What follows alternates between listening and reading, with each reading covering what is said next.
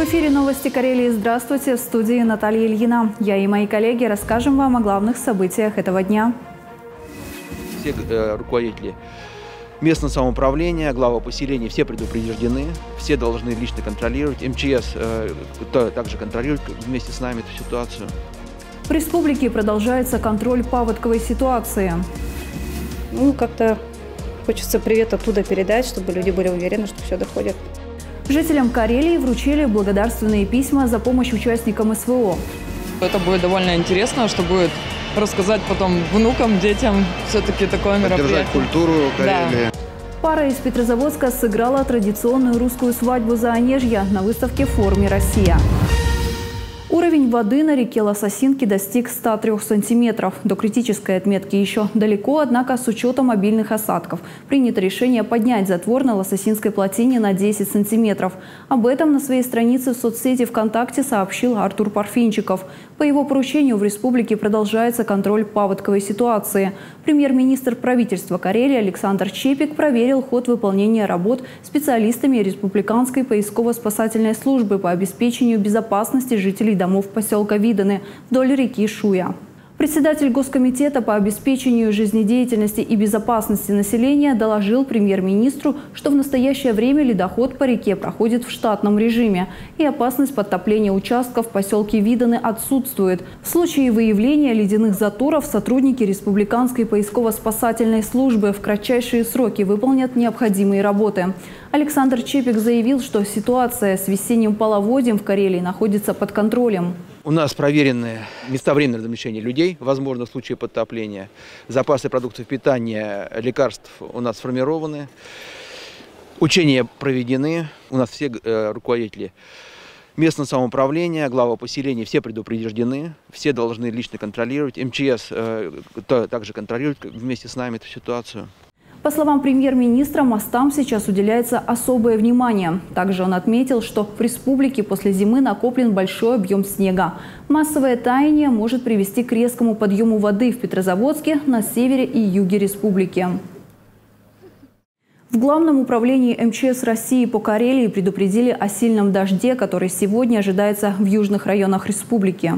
Под действие опасного явления могут попасть в Петрозаводск, Питкиранский муниципальный округ, а также Кандапожский, Лахденпохский, Аланецкий, Прянежский, Пряженский и Сартовальский районы. МЧС рекомендует ограничить поездки на личном автотранспорте, а при необходимости удостовериться в наличии буксировочных устройств и записать телефоны экстренных служб. Также в управлении посоветовали ограничить нахождение детей на улице без сопровождения взрослых. Четыре медика Кандапурской ЦРБ стали обладателями служебных квартир в новом доме. Ключи от жилья по поручению Артура Парфенчикова вручил премьер-министр правительства Карелии Александр Чепик. Как куратор сферы здравоохранения республики он также проверил условия работы врачебной амбулатории в поселке Эссела. Подробнее расскажет Егор Буяла. Врач-терапевт Вадим Лобецкий приехал в Карелию из Краснодарского края, устроился в Кандапорскую ЦРБ по программе «Земский доктор». Новая служебная квартира решила вопрос с поиском жилья, осталось привыкнуть к климату. Вадим заверяет, что карельский холод ему не страшен. Уже привыкший. У меня как бы э, корни сибирские, как бы родители из Сибири, как бы мне как бы тут нормально. Как бы. Вита Мельникова работает старшей медсестрой в Кандапорской больнице больше 20 лет. Для ее семьи служебная квартира – первое собственное жилье. Но планы уже есть, конечно, что купить, что обставить с семьей, да, с ребенком, с мужем. Ключи от квартиры в новом доме получили также медбрат из Кондабаги и стоматолог из Республики Татарстан. От лица руководителя региона медиков поздравил премьер-министр правительства Карелии Александр Чепик. Хочу, чтобы ваши дети и вы здесь почувствовали себя как дома, оставались здесь жить и чувствовали себя комфортно и спокойно в этом городе. Премьер-министр подчеркнул, что с 2018 года в республику удалось привлечь 164 семьи медработников. Это результат кадровой политики в сфере здравоохранения, которую выработали карельские власти. Примером ее эффективности служит Эссельская амбулатория. Она полностью укомплектована специалистами. Здесь трудятся педиатр, два участковых терапевта, шесть фельдшеров скорой помощи, девять медсестер. Обеспечить медучреждения квалифицированными кадрами помогает программа «Земский доктор». В ее рамках из Псковской области в Эссейлу жить и работать старшим фельдшером отделения скорой помощи переехала Любовь Кириллова. Я впервые столкнулась с тем, что все обещанное выполняется. Вот. Это и уровень зарплаты, он выше, чем по Псковской области, это условия работы, это, э, ну, сами видите, в каких мы условиях работаем. Везде делаются ремонты, везде идет обеспечение и лекарственными препаратами, и расходными материалами, и автопарк меняется. Я получила хорошую должность, хорошее начало. За беседой с Александром Чепиком Любовь рассказала, что и с жильем все прекрасно. Квартира двухкомнатная в шаговой доступности от работы и школы, в которой учится ее дочь одиннадцатиклассница. Условиями работы в амбулатории доволен и местный врач-стоматолог из Архангельской области Михаил Балакшин. Говорит, что радует новое оборудование. Его закупили по программе модернизации первичного звена здравоохранения – по графику в амбулатории ведут прием специалисты из Пряженской больницы, в том числе хирург и гинеколог. Налажена регулярная работа флюорографа и УЗИ. Комфортные условия амбулатории эссейлы высоко оценивают не только врачи, но и жители поселка. Мы довольны. Очень хорошо. Ремонт сделан хороший медики очень положительно относятся, потому что они нас всех знают, знают наши болячки, и поэтому им проще нам оказывать помощь, чем в городе объяснять профи- какому-то врачу, что у нас болит, как болит, сколько болит. Вот, поэтому вот наше такое мнение. Вы согласны? Согласны. Александр Чепик подчеркнул, что в последние годы по поручению главы Карелии Артура Парфенчикова в модернизацию первичного звена здравоохранения республики вложены значительные средства. То оборудование, которое здесь было приобретено, во-первых, позволяет людям отсюда не выезжать и получать максимальные э, услуги прямо вот у себя дома. А с другой стороны, это как раз вот та задача, которую у нас глава поставила по снижению смертности э, в республике в рамках вот, э, диспансеризации, диспансерного наблюдения. В мае в Эссельской амбулатории начнет работу передвижной маммограф, который в 2023 году Карелия получила по программе Минпромторга России. Егор Буяла, Станислав Шведов, служба новостей. Карельские блогеры побывали на трех петрозаводских предприятиях. Экскурсоводом для них выступил глава республики Артур Парфинчиков. Уникальный пресс-тур позволил ребятам и их подписчикам посмотреть на то, как делают металлоконструкции, спортивные тренажеры и пожарных роботов. Первой точкой экскурсии по петрозаводским предприятиям для молодых блогеров стал завод по производству металлоконструкций «Стройтехника». Здесь появляются на свет как многотонные металлические скелеты торговых центров, так и миниатюрные, обработанные на высокоточных станках запасные части для различного оборудования. А с каким образованием берут специалистов к вам на предприятие? Значит, э, с ЧПУ, это техникум наш. У нас вот вы проходили, есть молодые ребята, видно, это студенты. Пока переезжаем между объектами, Артур Парфенчиков общается с ребятами, отвечает на вопросы. Цель пресс-тура не только познакомить блогеров с промышленностью, но и наладить общение власти с молодежью. Будьте любезны, представьтесь. Меня зовут Роман Шпет, э, я диджей, музыкант, все. Хороший человек. Удалось с главой парой слов перекинуться, что-то спросить, может быть? Да, я задал самый простой и самый человеческий вопрос. Как настроение? Как у вас дела? То есть задают часто по работе, да, там вот эти все великие, большие вопросы. Я сказал, да все хорошо, Роман, все хорошо. Попасть на предприятие просто так нельзя, но благодаря пресс-туру у блогеров и их подписчиков появилась возможность увидеть, как создают уникальные промышленные продукты, например, инновационные пожарные роботы компании FR которые защищают от огня космодромы, стадионы и промышленные площадки. Когда меня пригласили, сказали, что есть такая возможность, и, оказывается, нельзя просто так попасть.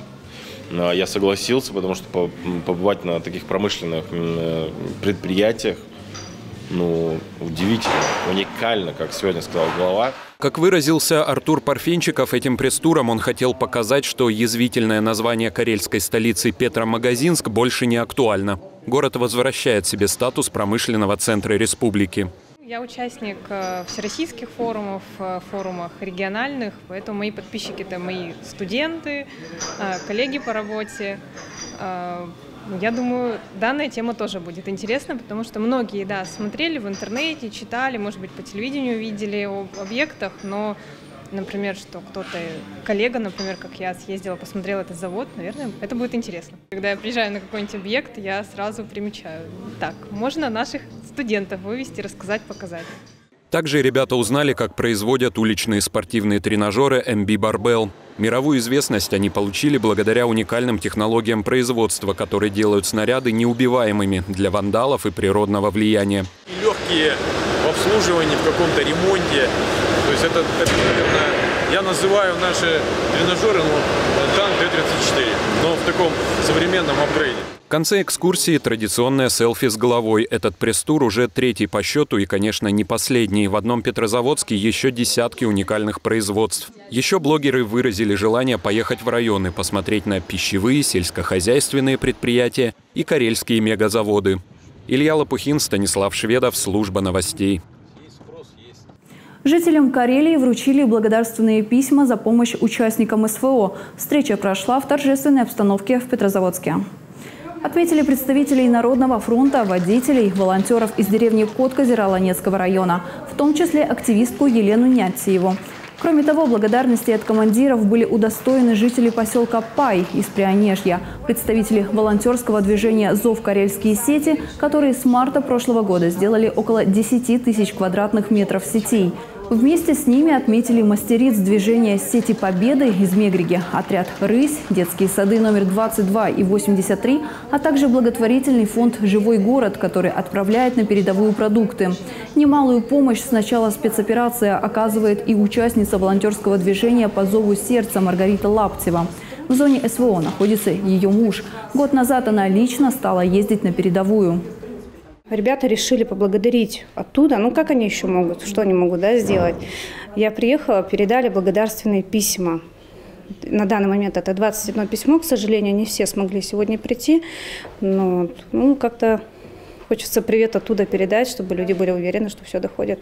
Объемы гуманитарной помощи растут. В последний раз отправили порядка 25 тонн. Сейчас, в преддверии лета, военнослужащим больше всего необходимы влажные полотенца, вода, газовые баллоны и плитки, а также спальные мешки и туристические коврики. Очередной сбор будет организован 6 мая с 9 до 17 часов по адресу Дзержинского, 3. Ученые установили, как синий спектр света влияет на ожирение, а в гонке ГТО на Кургане сможет принять участие больше желающих, чем было заявлено ранее. Об этом и не только расскажем в нашей постоянной рубрике «Коротко». За три месяца текущего года в Петрозаводске зафиксирован рост количества ДТП на 21% в сравнении с аналогичным периодом прошлого года. При этом на 60% снизилось количество погибших. Большая часть ДТП произошла по вине водителей. В Петрозаводске с 15 апреля изменится схема движения на Зарике. Проезд автомобилей запретят в районе дома номер один по Волховской улице. Ограничения связаны с плановыми работами на тепловых сетях. Ученые установили, что воздействие синего спектра света перед сном приводит к увеличению уровня гормона стресса, кортизола и риску ожирения. Среди авторов исследования был старший научный сотрудник лаборатории генетики Института биологии Карельского научного центра Российской академии наук Сергей Коломейчук. К гонке ГТО на Кургане допустят 600 человек, а не 504, как было заявлено ранее. Об этом сообщил заместитель директора Центра спортивной подготовки Александр Баканчук в эфире программы «Тема дня». Команды пробегут кросс с препятствиями уже 28 апреля. Пара из Петрозаводска сыграла традиционную русскую свадьбу за Онежья на выставке в форуме «Россия» в Москве. Как она прошла и почему свое знакомство молодожены называют чудом, расскажет Любовь Цыганова. Молодожены из Петрозаводска Мария Мишина и Александр Кобрин познакомились в новогоднюю ночь. Встреча оказалась судьбоносной. Молодые люди готовятся к свадьбе. Остаются считанные мгновения до начала церемонии. Невеста готова. Традиционный свадебный наряд за Онежье впечатляет – Сорочка с пышными рукавами, штофный сарафан, корона из жемчуга. Невесте повязали шелковую ленту, которую затем передали жениху как символ расставания невесты с девичьей волей и передачей своей воли мужу. Это будет довольно интересно, что будет рассказать потом внукам, детям все-таки такое мероприятие. Поддержать культуру Карелии, да. культуру Карелии поддержать, чтобы не забывались, как это было раньше, происходило, чтобы, я думаю, это людям интересно тоже вспомнить. Свадьба началась. Вся программа прошла по русским народным традициям в сопровождении занежских песен. Знакомство жениха и невесты, хороводы обереги со свечами. Молодым поднесли каравай с чарочками и перевязали их рушником. После завершения всех ритуалов состоялась официальная церемония бракосочетания. Сотрудник ЗАГСа Карелии объявила Александра и Марию мужем и женой. Долгая подготовка и предсвадебное волнение позади. Мария и Александр теперь муж и жена. Прямо сейчас на международной выставке в форуме «Россия» в 75-м павильоне молодые скрепили свои жизни узами брака и показали жителям и гостям столицы, какая же она – традиционная карельская свадьба. На что больше всего обратили внимание, что больше всего вас впечатлило сегодня? Ну, вот э, тексты песен э, сами по себе очень интересные. И хореография немножко другая. Вот мне очень вот так, э, ну, новизна понравилась. Свадьбу в русских традициях Занежья вместе с молодоженами подготовил ЗАГС Карелии и ансамбль русской песни «Катюша». А какая же свадьба без танцев? Участники ансамбля пригласили гостей из зала в кругу – древний круговой карельский танец.